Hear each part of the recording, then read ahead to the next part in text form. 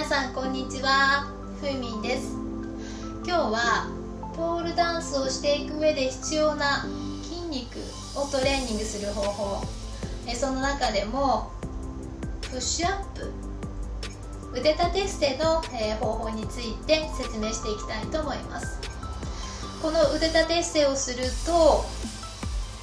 この腕でいくと上腕二頭筋三頭筋そして肩周りですね。三角筋とあとは背中側にある広背筋ですね。非常に大きな筋肉なんですけれどもその辺りを鍛えていくことができます。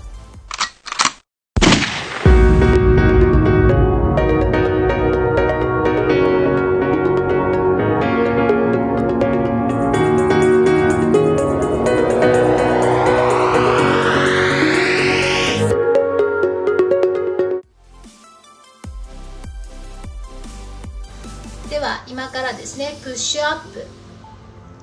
腕立て伏せを4種類やっていきたいと思います。時間は2分弱です。約2分の間に4つの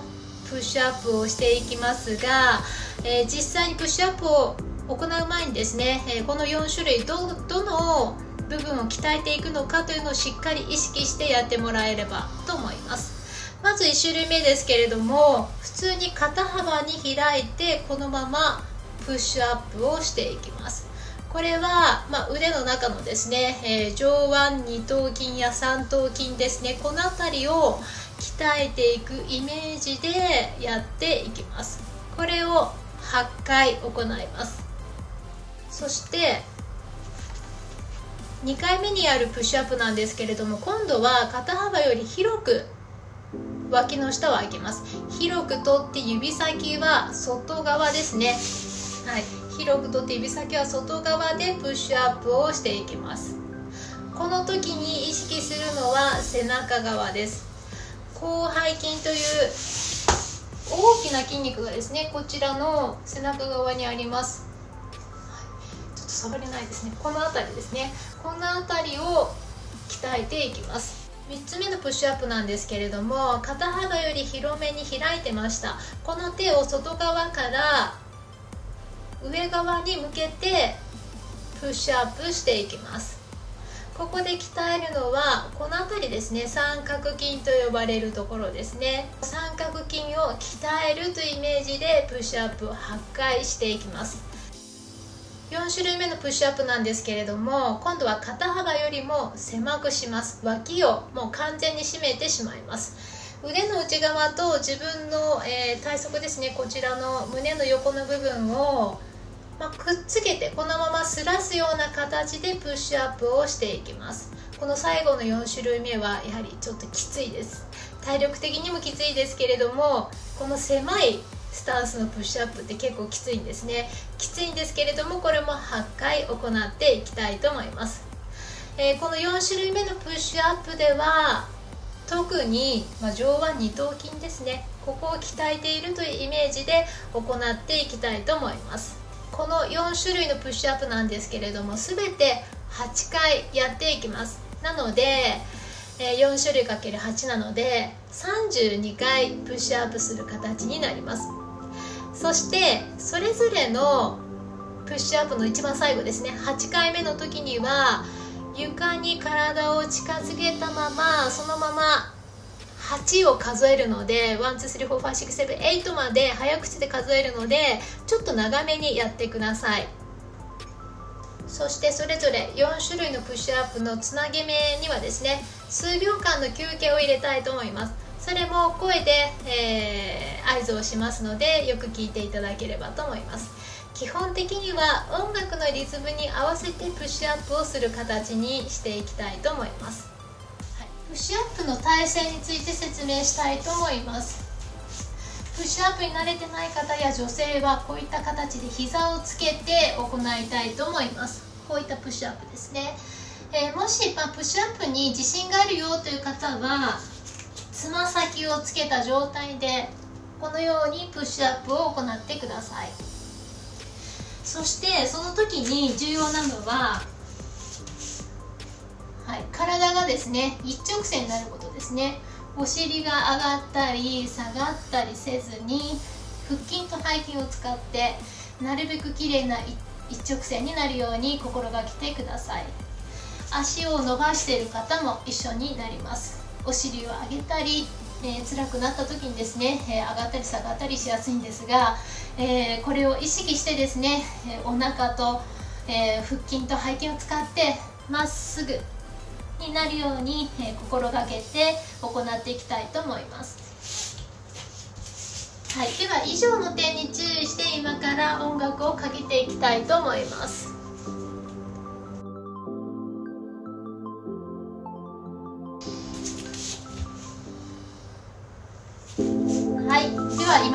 シュアップやっていきたいと思います。スタンバイしてください。手は肩の幅に広げてください。今から8回いきます。5 6 7 8 1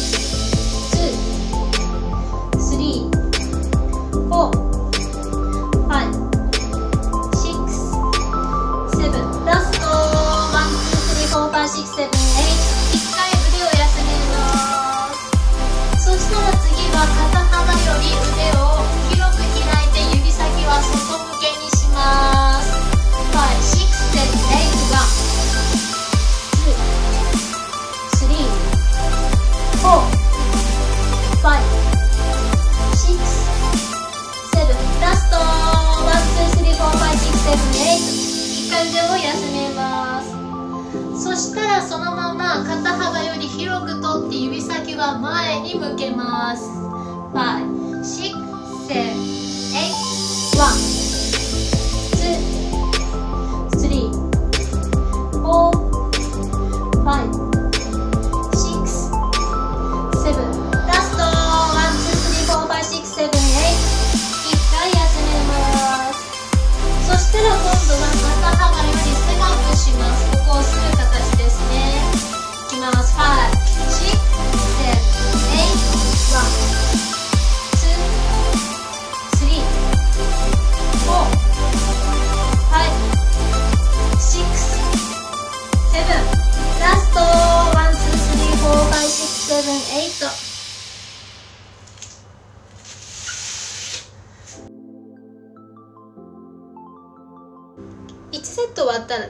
回休憩をとってそして腕が続くようであればまだ元気であれば2セット目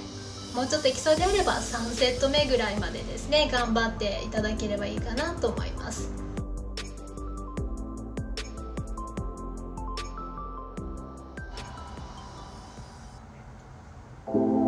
では足を伸ばしたプッシュアップをしていきたいと思います。手は肩幅に指先は前に向けて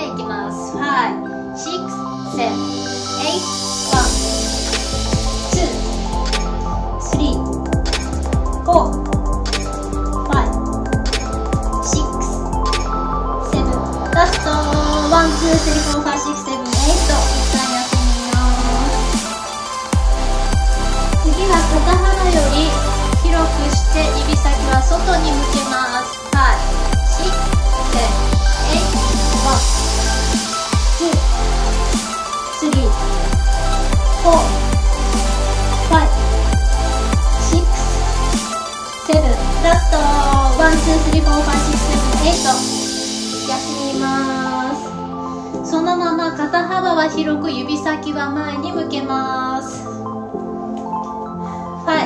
6 7 8 1 2 3 4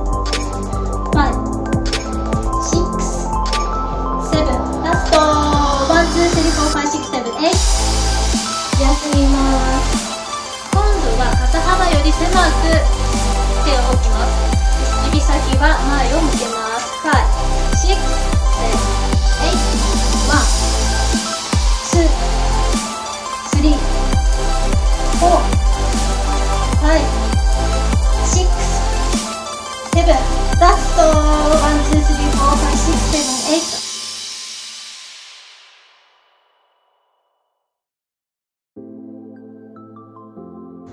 8こういった筋トレを何セットかするときにですね一旦まあインターバルを設けると思うんですけれどもいわゆる休憩ですね。あのやはりワンセットやると非常に疲れますので、えー、ある程度の休憩をとって、え、2セット目に入ると思うんですけれどもこのインターバルの時間なんですが、まあ、今まで言われてきたことはインターバルの時間を短くしてですね、えー、続けて筋トレをする方が非常に効果があるというふうに言われていました、まあ、今も言われていると思うんですけれども最近の研究ですね研究論文によるとこのインターバルの時間が短くても長くても筋肥大にはさほど影響しないというような論文の結果が発表されたということなんですね。なので、まあ、しっかり休憩をとって行った方が次の筋トレの持続回数が伸びると思いますのでインターバルを短くして次ちょっとしかできないということで終わるよりも、まあ、ある程度しっかり休憩をとって腕を一旦休ませてまたしっかりとワンセットですねやっていく方がいいのかなと思います。皆様いかがだったでしょうか？ポールダンスをしない方にとってもこの辺りを鍛えたい方もしくは引き締めたい方は、えー、こちらの方法でチャレンジしてみていただければと思います、えー、この動画が非常に参考になったという方は是非いいねボタンをクリックしてください。そしてこちらのチャンネル登録もお願いいたします。あと皆様からのご意見をもとに動画を作成していますので、えー、こういった話を聞いてみたいというような内容がありましたらぜひコメント欄の方に自由に記載していただければと思います。ではまた他の動画で会いましょう。